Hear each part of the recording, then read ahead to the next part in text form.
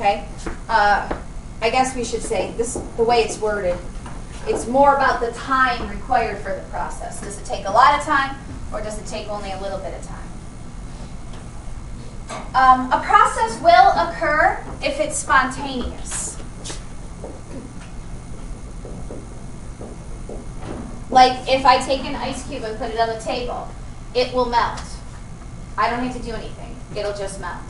If I put an iron nail outside, it will rust. I don't have to do anything. It'll just rust.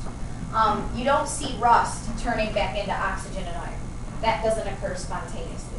So some things occur spontaneously without any outside intervention. And again, they could be slow or fast. There's really two things that will determine if a process will be spontaneous. Number one is the delta H. Number one is your enthalpy.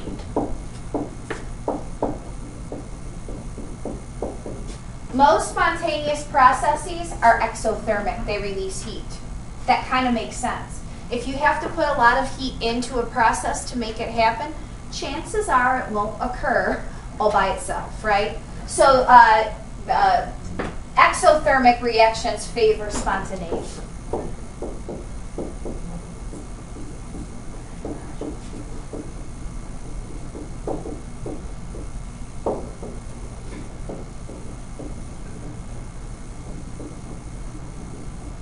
That doesn't mean you have to be exothermic to be spontaneous. But most spontaneous processes are exothermic. Think about that ice cube I just told you about. If I put an ice cube on the table and it melts, solid to liquid's going up that heating curve. That's endothermic, but it doesn't. It absorbs heat and it melts spontaneously at this temperature because there is another driving process for that spontaneity, and that is an increase in entropy. Okay? Delta S is entropy. Do you guys remember what entropy is from last year? Disorder. There is a tendency in nature to become less ordered. Um,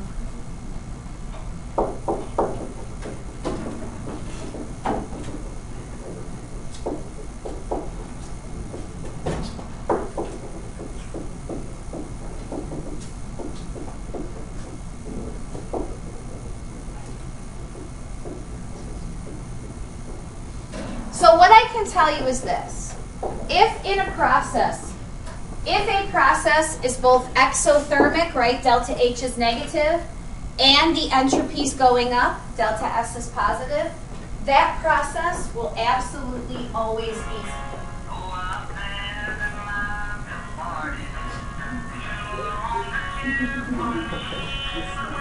Are you going to turn it off? Okay. Okay, thank you. That process will always be spontaneous. So again, if it releases heat and it's increasing disorder, the process is always spontaneous. Absolutely always. Okay? If neither of those factors are true, if the reaction's endothermic and the entropy is going down, it will never be spontaneous. It won't ever, ever be spontaneous. No matter what the temperature is, it'll never be spontaneous. And if only one of those factors is true, it'll be spontaneous sometimes. That sometimes depends on the temperature that we're at. Okay? So if both of these are true, if delta H is negative and delta S is positive, the process is always spontaneous. If one of them is true, spontaneity depends on temperature, and if neither is true, never spontaneous. We're going to get to that later in section four, but I figured while we're talking about spontaneity, we might as well talk about what determines it, right? Those two things determine it.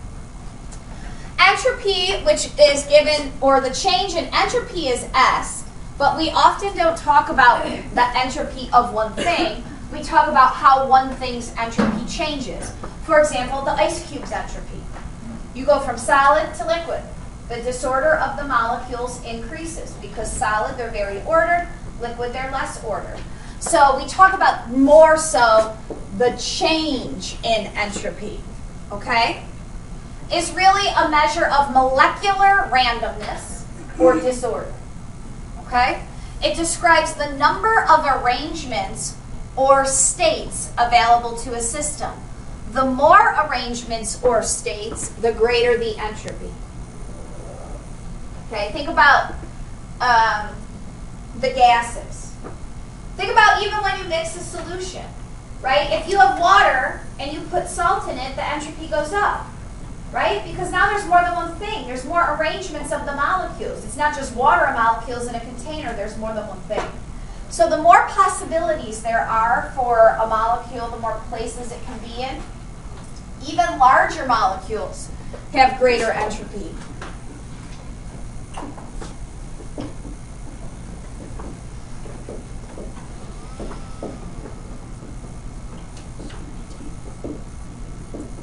A greater volume of a gas means greater entropy, right?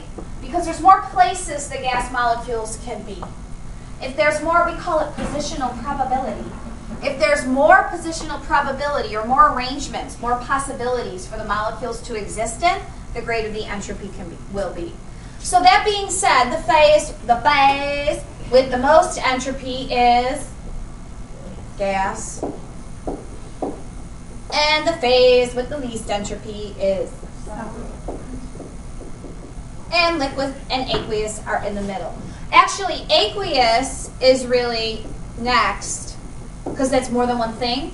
So greater um, arrangements, and then liquid comes before that. Okay, so for if this is decreasing order of entropy, the gas phase has the most, then the aqueous, then the liquid, then the solid.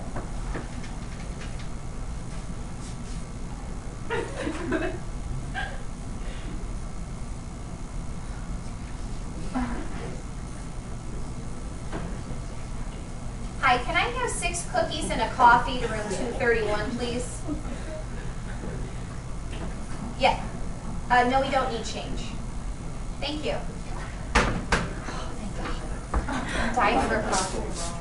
All right. Questions so far? Yes. Yes, go. Change in entropy of a system is represented by the symbol. Delta S. Where is it? Next. Oh, wait. I think it's down here. The change in entropy of the system is represented by the symbol delta S.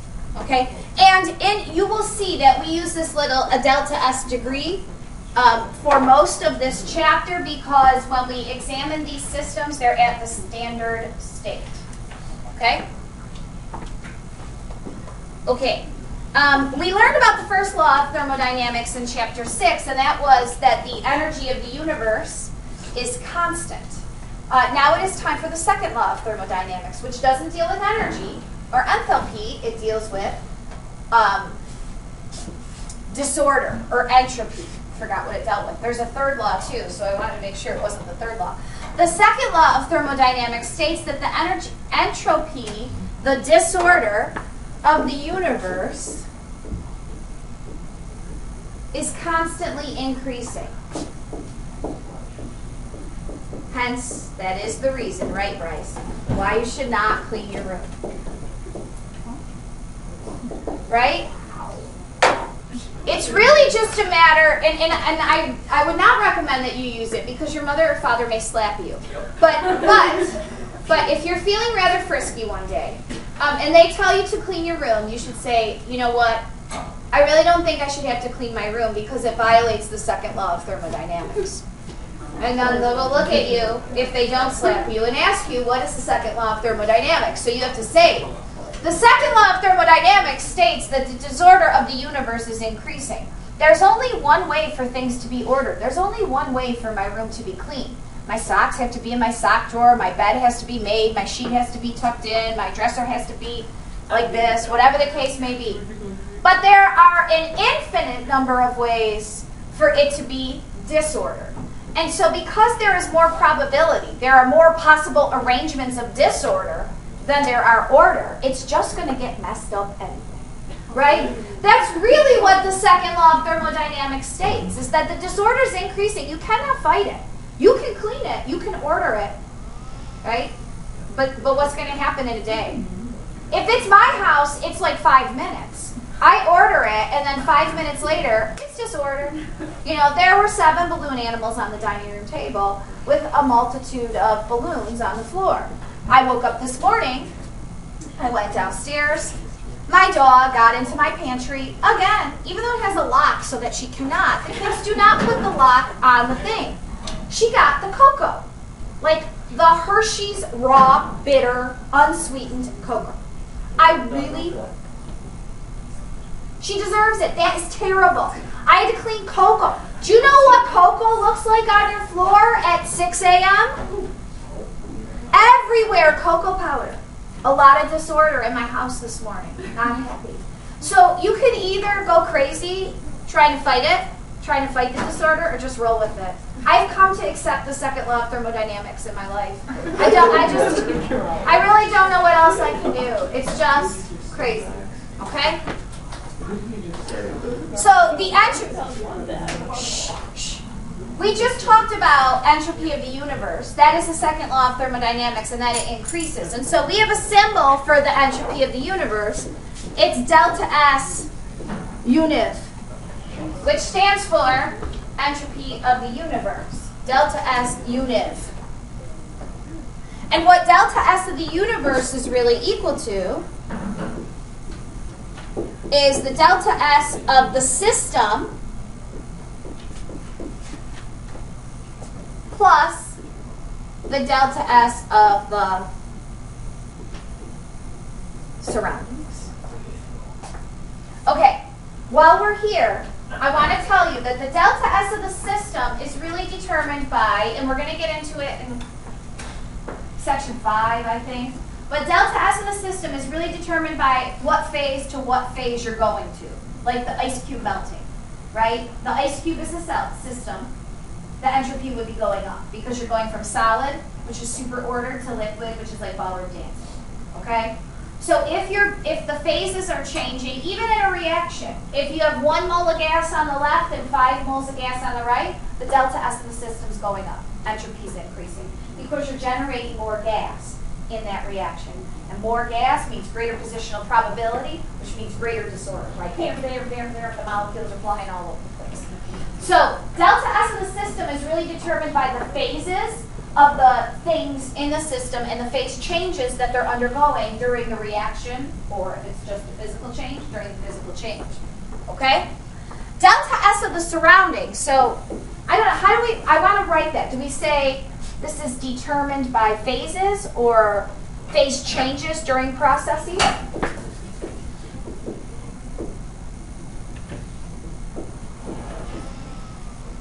You will be predicting what happens to delta S of the system given a number of systems.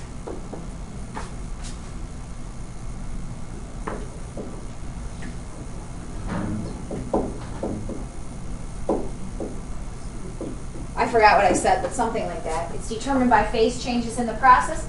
Delta S of the surroundings is not determined by the phase changes. It's determined by heat gained and lost. So really, if a reaction's endo or exothermic, that depend that determines delta S of the surroundings. We have a lunch schedule. Um, why don't any of you that were getting cookies come and get your cookies? We had six cookies and a coffee. It should be seven dollars, right? Yeah.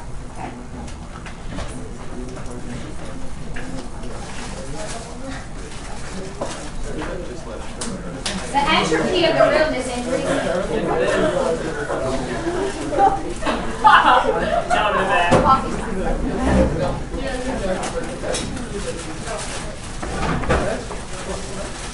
Okay, so delta S of the surroundings is determined by heat gained and lost.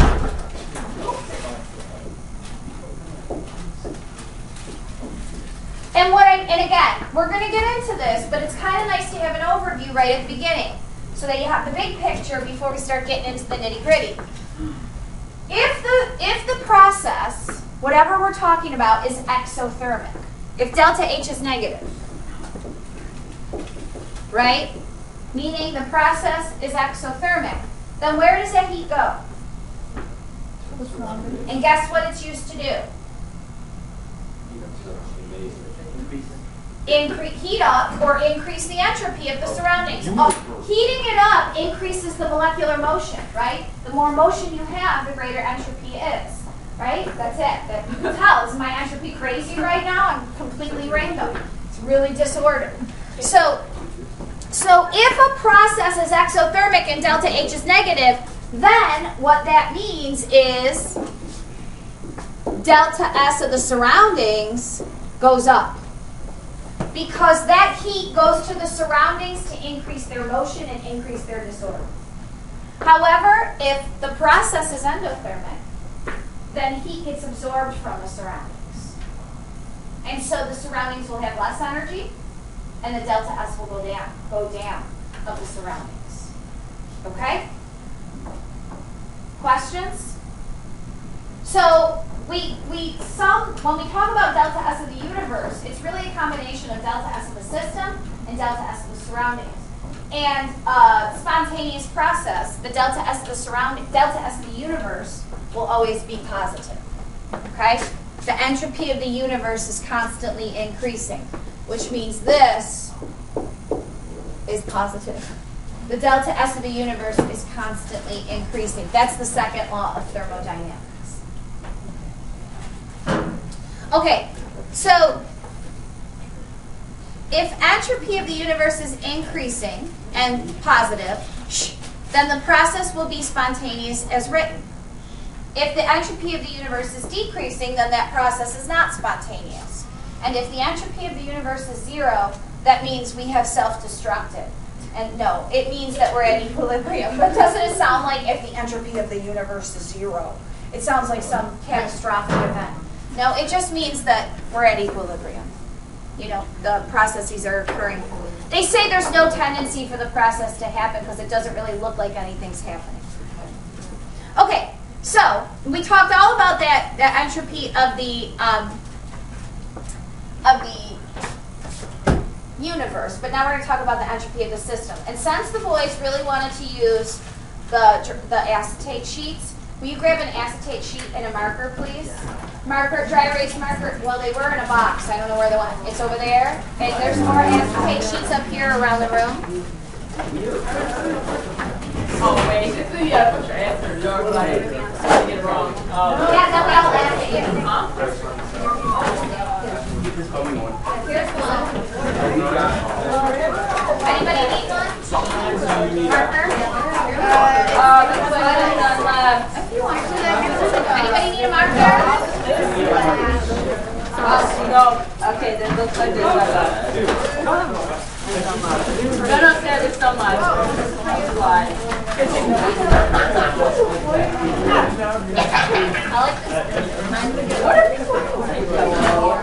Spring, which it is here, but No, it's not. Okay, I'm gonna get the really crap. Let me just, uh, in letter B, I want you to tell me what's happening to the entropy of the system if the system undergoes sublimation. So just draw an arrow on your board, and then we'll hold them up in, oh, okay, I'll give you 30 seconds.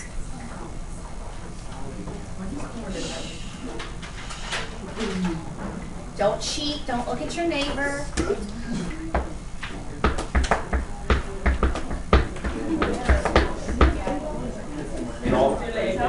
Okay, 10 seconds.